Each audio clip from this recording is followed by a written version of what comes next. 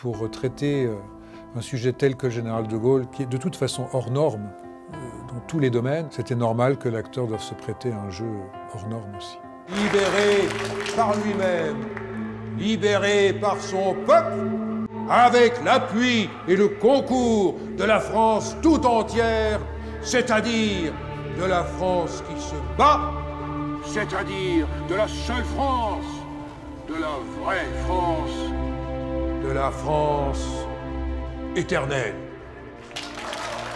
La série s'intitule L'éclat et le secret. La colonne vertébrale de cette série, c'est effectivement l'intimité de ces deux personnes, de ce couple, que sont Yvonne et, le général. Et ça donne d'ailleurs la part belle à Yvonne, parce qu'elle a été à ses côtés pendant toute euh, sa vie, toutes les épreuves, tous les succès. Le secret, mais comme pour beaucoup de personnes publiques, c'est l'intimité. C'est Yvonne, c'est Anne, c'est les enfants, c'est tout un tas de personnes qui ont gravité et qui ont euh, été très importantes pour, euh, pour le général de Gaulle. Mais personne n'ignore que euh, derrière un grand homme, il y a quand même souvent une grande femme. Vous êtes à ses côtés depuis plus de 20 ans. Voilà pourquoi je vous serai infiniment reconnaissante de faire tout ce qui est en votre pouvoir pour le dissuader de se représenter. C'était deux êtres qui, je crois, au-delà de s'aimer profondément, partageaient les mêmes valeurs. Tu possèdes ce qu'il y a de plus noble, ma petite femme chérie. Le courage.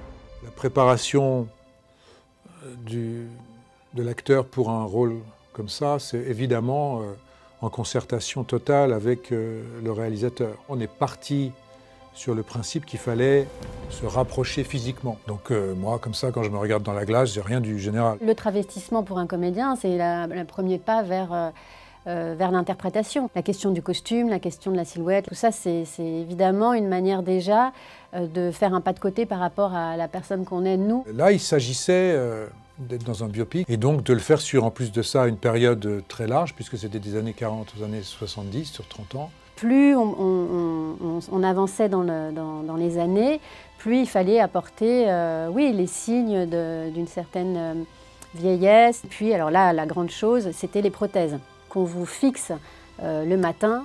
Il y avait finalement deux tiers des jours de tournage où, moi je portais les prothèses. Samuel, lui, il les portait pratiquement tout le temps. Bien sûr, ça passe par des transformations physiques, de paroles, de phrasés, de, de de voix. Le dernier mot est-il dit?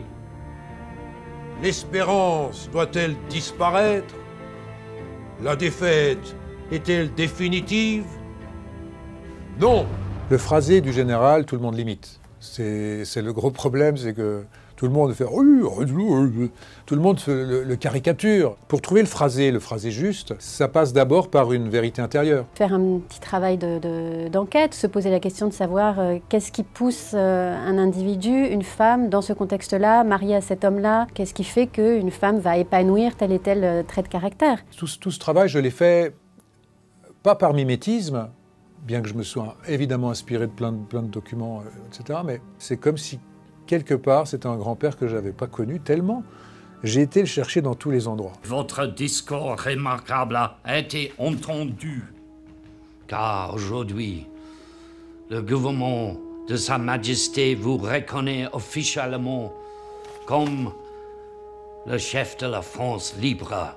Vous êtes le connétable de France. Lourde tâche. J'ai bien conscience de ne plus pouvoir m'écarter de cette voie où je me suis engagé tout seul.